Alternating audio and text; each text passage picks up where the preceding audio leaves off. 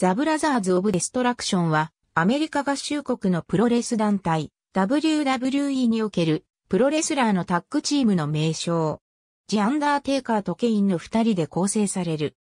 J スポーツの日本語字幕では、破壊兄弟と訳される。火事により死んだと思われていた、ジ・アンダーテイカーの弟というギミックで1997年に、ケインが WWF に登場し、二人は構想を繰り広げた。1998年には一旦和解し、共に行動するも、テーカーが裏切り再び両者は構想を開始した。2000年にテーカーが球場から復帰し、アメリカンバットアスのキャラクターとなってからも構想は続いたが、その後タッグを組み、当時 WWF を掌握していたストーンコールドスティーブ・オースチントリプル H のパワートリップなどと争う。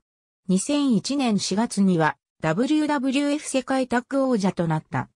その後の WWF 対 WCW、ECW 連合軍のストーリーでは、タッグ戦線で活躍し、WWF と WCW のタッグ王座を同時に保持。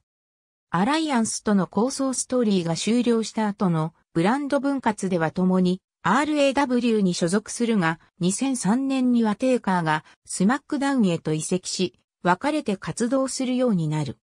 2006年にはケインが敗者 RAW 追放マッチでウマガに敗れ、スマックダウンへ移籍。移籍後、当時テーカーとも敵対状態にあった MVP やミスター・ケネディとの抗争をきっかけに再結成する。その後もキングブッカーフィンレイなどを相手に活動。以降は互いにシングルプレイヤーとして活動した。2012年の RAW 千回記念放送で、ケインの手助けに、テイカーが現れ、一夜限りの復活を果たした。ありがとうございます。